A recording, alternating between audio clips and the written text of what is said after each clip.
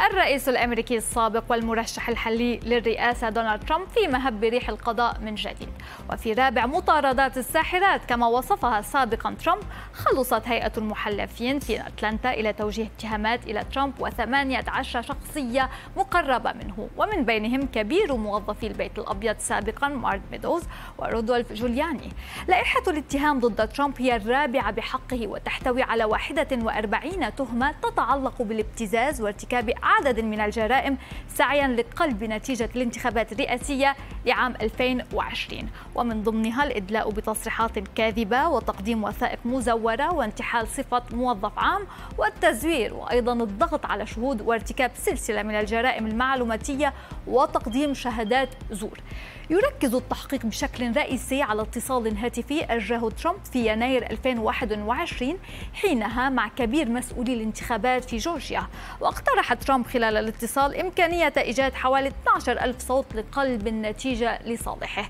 واستندت المدعيات العامة في الولاية باني ويلس في توجيهها للاتهام إلى قانون المنظمات الفاسدة والممارسة للابتزاز والمعروفة اختصارا بقانون ريكو.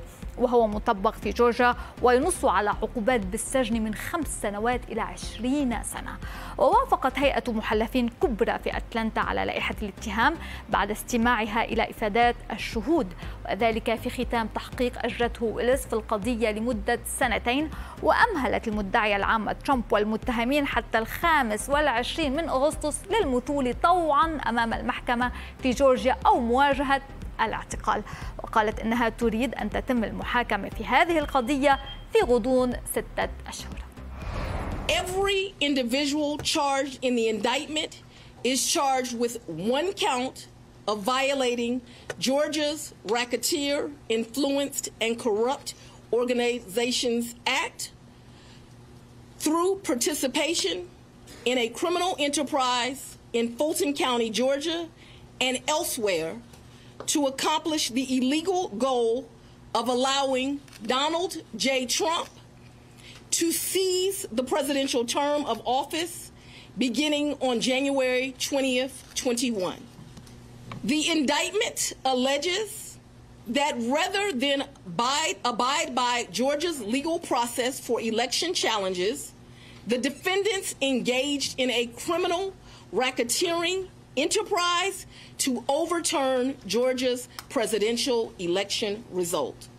Subsequent to the indictment, as is the normal process in Georgia law, the, the grand jury issued arrest warrants for those who are charged.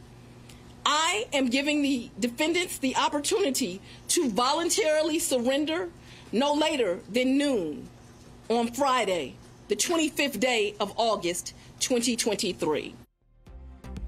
أما ترامب كما هو معهود نفى كل التهم الموجهة إليه وهاجم المدعية العامة وقال إن 19 شخصا تم اتهامهم الليلة الماضية بمن فيهم الرئيس السابق للولايات المتحدة من قبل مدعية خارجة عن السيطرة وفاسدة للغاية وإنها قامت بجمع الأموال تحت راية النيل من ترامب وعن, وعن الوثائق التي طرحت أمس وصوتت عليها هيئة المحلفين قال ترامب إنها أصوات مزورة.